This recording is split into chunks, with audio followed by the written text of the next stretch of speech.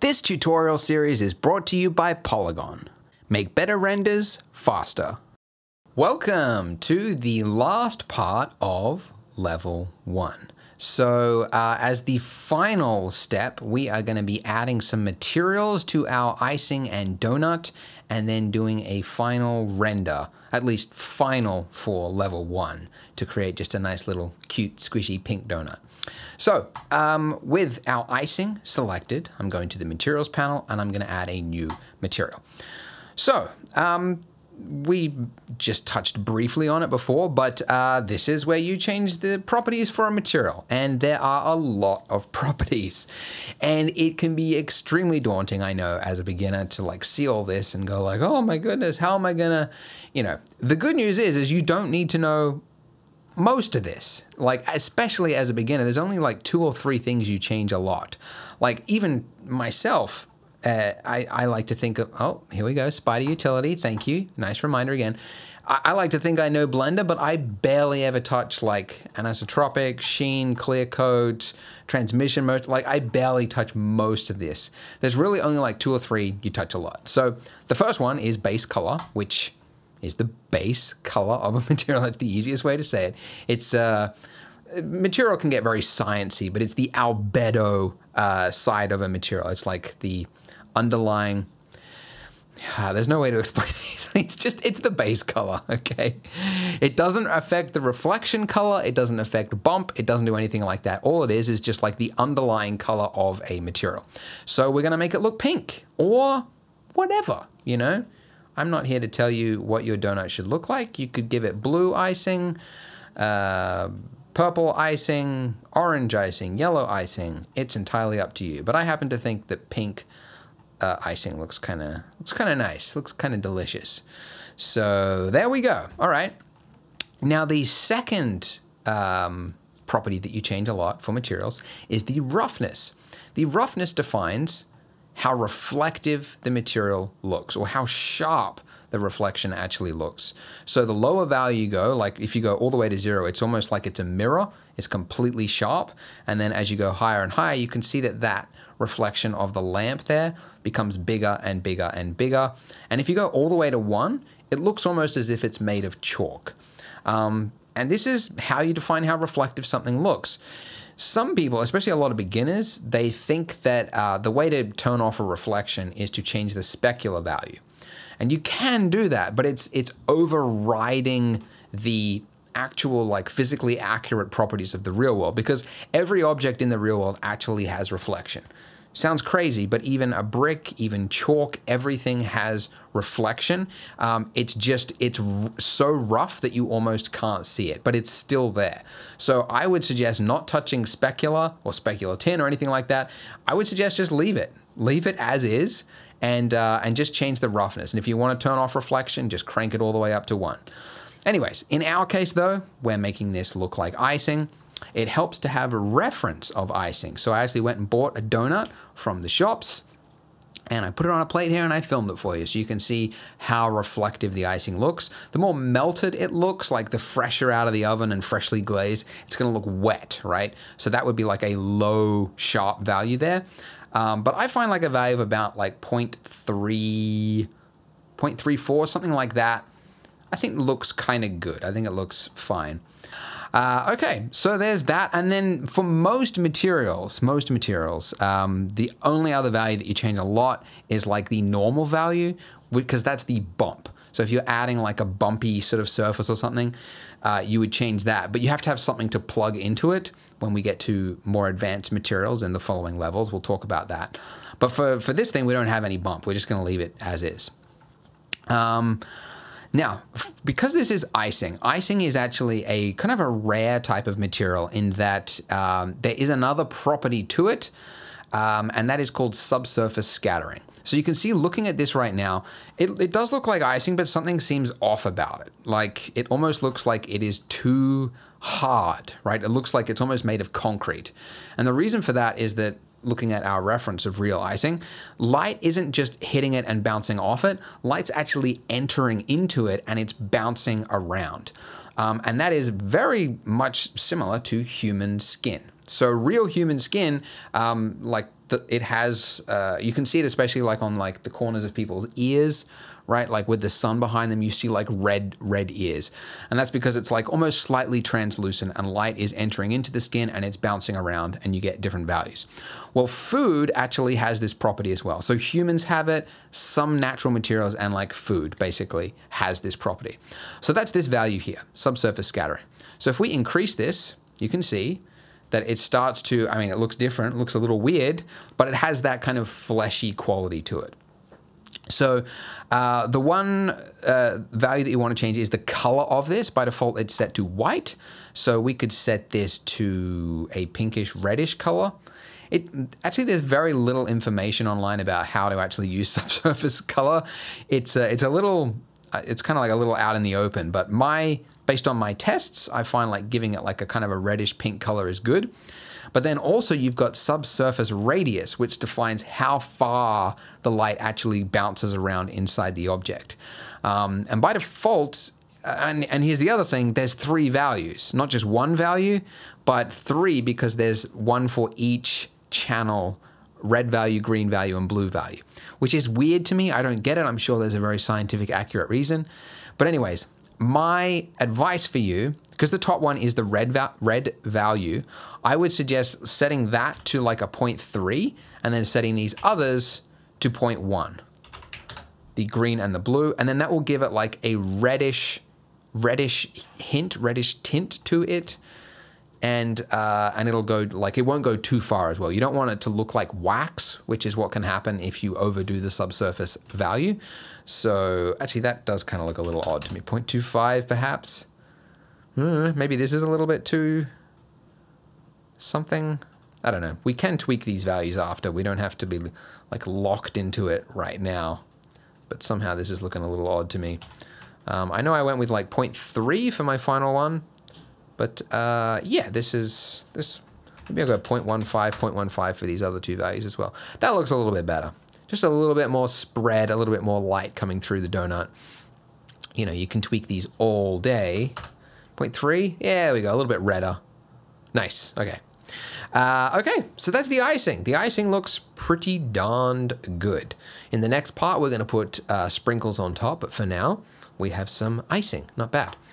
All right, now for my, uh, by the way, I've been turning on and off this overlays. Uh, that's just like, you know, the camera, like the outline of selected objects. If I'm working on materials and things like that, I find it helpful to just turn it off so that I can just focus on what I'm doing. But then in order to see what you're selecting, of course, you want to make sure you have it turned, uh, turned on. But anyways, I have my uh, donut selected now. So let's give the donut a material. We are in the uh, future parts. We're going to give this a proper material, like texture paint it and make it look parts that are like white as well as dark. But just for now, we're going to give it the simplest material just to make like a really quick, uh, quick render. And that's just to make it look a little bit bready, a little bit orangey yellow, like so. And then the other thing, I'll give it a little bit of subsurf, just a little bit, because it is food as well. So bread has light enter into it, just a little bit and I'll just make sure it's yellow. And then let's go 0.1, 0.1. Like so. All right. Donut is looking donutty. So with my camera selected, it's a little far away from my donut. So I'm gonna hit G to move my camera and that'll move it along, you know, like I'm grabbing it. And then I'm going uh, G and then middle mouse button. And then that'll just like, you just push the middle mouse once and it's like moving it along it's like forward front facing axis. I don't know, but it's just how you move it forward and back. Uh, what's the what's the term? It's like on a rail in uh, not not pan. Oh, dolly. That's the word I'm thinking of for cameras. It's like dollying it in and out. Anyway. Okay, cool. So um, we're going to do a little render. So obviously for the final um, uh, whatever you call it, final, you know, all the way to level four. We're going to put like brick behind it, do a coffee, a plate, and all that kind of thing. But just for now, we're just going to make a nice, very simple render for people that want to end it right here. End it all, end it like they're going to commit suicide. this was the last thing you were going to watch. and then that, that inspired you. All right, that's a little dark. Anyway, um, in this case, what I want to do is I want to have the light just a little bit behind the donut. But this is a case where you can kind of see like having like just a single view like this, like looking through my camera, I want to be able to move my light around, but I can't really do it from this view. So let's talk about splitting the view. Uh, to split the view in Blender, you just go up to wherever there's a border and then just right click it. And then you've got an option to vertical split or horizontal split. By the way, I believe this is a 2.81 feature because that's the version I'm using right now. If you're following along with me, you might just have a like join or something like that. Um, like you might have to go to the like this side and do it there. But anyways, so we do a vertical split and then we have a split. And then uh, over here, I now have just another window. And I can move this around and you can see that it's uh, interactively updating that one at the same time, which is nice. Um, there we go. The other way, by the way, if you want to collapse or split something again, if you move to the very top right hand corner, this is kind of like the legacy way of doing it but the, like your cursor changes to like a little target symbol. If you click and drag that way, it splits it, and you can do it uh, this way as well. And then if you want to join them, like collapse them, you just do it in the opposite direction. Click and drag that way. Um, so yeah, that's pretty good. Um, the only other thing I'm going to do as well is like the size of my lamp there. It looks a little bit like, um, sorry, I'm going to split the view again so that we can actually see the lamp. Uh, it looks a little bit like sunlight, like it looks a little bit too hard of light source. So I'm going to, whoops, not the power, the size of my light right there. You can see the larger I make this, the softer this shadow becomes. If I turn off my overlay, I can focus on a little bit better.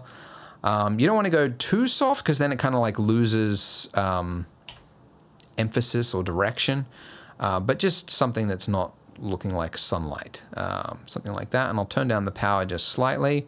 Oh, by the way, now that we're talking, uh, you know, about doing a final render, in my like my full lighting series, which if you do get serious about CG, I recommend watching that because I go into a lot of detail about this. But I explain how you can uh, actually find out what the correct light value you should be using because every monitor is actually different and what looks okay to you might look too dark or too bright for somebody else. So if you don't have that thing that's been popping up repeatedly is the Spyder, I've got this device which will like make my monitor more accurate for color. Um, but if you don't have one of those, you don't need it, uh, if you switch in the render settings right here, you've got a color man underneath color management, You've got a view transform. If you change that to false color, it'll everything will look psychedelic. But these values here will tell you whether something is overly bright or not. And really you want things to be at just above like just on gray or above gray. So this like top of this icing here is kind of like what my focus is going to be. So looking at my lamp, I'm just going to turn that down just a little bit. Like it, it, can be a little bit overexposed, this, this green value here can be a little bit overexposed, but not too much. Anyway, that's enough. That's enough for now. And then before I do another render, I'll just, um, because I actually think that uh, blue, blue for the ground, it looks okay. But I actually realized that you can use, uh, if you make it like within this pink pastel color. We did split testing for this tutorial. We put some adverts up on Facebook to test, you know, what thumbnail would actually perform best for this tutorial. And um, yeah, we, we did like some different ones with like the background here, and we we had ones that were blue and then some that were pink, and the pinks outperformed by a lot. Um, so yeah, I, I guess like it's up to you, but based on my test, it seems like the aesthetic looks uh, it look it looks nicer when you have like just pink on pink. So that's what I'm going to go with. All right, now before we do a render, I'm going to give this a save. Let's give this a save right now. I just hit Control Shift S to do that save. And all right, now if we hit F12 right now, which is the shortcut for rendering, you'll see these tiles will appear. It'll go one by one by one. And um, yeah, so I do have two tiles because I have two graphics cards and I'm using the GPU. If you have CPU, you might see like eight tiles because it's going to use the cores of the CPU to do it. Um, but CPUs are often generally slower than graphics cards. But anyways, so uh, the speed at which it's doing this is dependent on the number of samples. So the samples are defined right here. So the viewport is set to 32 by default. So you can see in the viewport here, it's quite noisy because we're rendering at just 32 samples, which is a very, very low sample amount. The final render, it's doing at 128, which you can see is far less noisy. But when you zoom right in, you can still see there's quite a lot of noise there. So one way to reduce that is to just increase that. But every time, like if you were to double the samples and make it 256, right? 256 samples, that would kind of like double the render time. And you can do that, but yeah, you wouldn't ever even really clear up all the noise. There would always be like some noise there. Thankfully, there is something called denoisers, which after the render is finished, it can try to intelligently read where the, um, oh, there it is, where the edges are and where some where noise is and try to remove the noise. Um, and 2.8, Blender 2.8, so if you're watching this as I upload it, uh, make sure you get this latest version from the Blender Builder website. Um, Blender 2.81 has a denoiser in it, which is incredible. It's the uh, Intel AI denoiser. And the way you use it is you go to your uh, layer panel first, and you make sure you turn on denoising data. And then when you do that, you have to do another render. So we'll do that quickly. There we go. And then once the render is finished, we're gonna go, and this is, you know, for a beginner tutorial, it's a little advanced, but we're gonna go to the compositor. So this compositor tab along the top there. And this is, uh, yeah, it's everything that's going to happen to your render after a render is finished. Um, and what you can do in here is you could add in nodes that do things. You could add glow, glare, um, you can do all sorts of things, color grading, everything can happen in here. And uh, yeah, it, it's a little advanced, but just follow me for just this part. And later on in the future levels, we'll talk more about using nodes properly. But just for this, it's really simple to do. Uh, we're going to hit Shift A same hotkey as the viewport, and we're going to add in a denoiser node. Um, and uh, since this is so new, I actually just realized I don't even know which menu it's under, but you can do a search. you can type in denoise. So with this, all we need to do is take the output of the, excuse me, noisy image, put that into the image part, the uh, denoiser, denoising normal, the purple goes in the purple, and then the denoising albedo goes into the albedo. And then we take that and we put that into the composite uh, input right there. Now, when we do that, if we were to hit F11, um, F11, by the way, is the hotkey to bring up the old render, the, the most recent render. Nothing has actually changed because uh, when you're doing, I don't know why they changed this in Blender, but it really annoyed me. Like, it won't actually affect the final render unless it's viewable as you're using the compositor. You could do another render right now and it would actually kick into gear. But in order, like if I don't want to have to do another render, I can just go to the image editor down here, uh, set this to render result. And then if I take this out and put this back in, it will actually refresh it, do the full render. And now uh, control space, by the way, will make maximize any view that your mouse is over. So control space. Bring that up, and now as we zoom in, you can see it's cleared up all that noise as if it were magic. And uh, it's really, really powerful, this Intel denoiser. And uh, as far as I know, it will work on even AMD processors, as far as I know. Um, maybe that'll change in the future. I don't know when Intel catches on to what the AMD users are up to. But uh, it's really, really super impressive. Blender had a denoiser previously, and it did it quite immediate. Like it was yeah, it was easier to use, but it was really like didn't do anywhere near as good a result as this. Um, so yeah. There we go, guys. So that is the end of level one. You made it. Yay! So, uh, thank you for watching. Go ahead and uh, share it with your friends if you found this helpful and help them get into Blender. But I hope you will continue the rest of this series as we add in sprinkles. We'll learn about particles. We'll learn about displacement, making the donut look more like textured bumpy donuts, adding in bumps, uh, as well as texture painting, painting on textures, and then doing precise modeling for the coffee cup, and then final renders and animation as well to the end. So it's a big series and it's designed to give you that full scope of what you're gonna need to know in Blender. So I hope you will join me in the next level. Go ahead and click here if you're ready to uh, start watching now.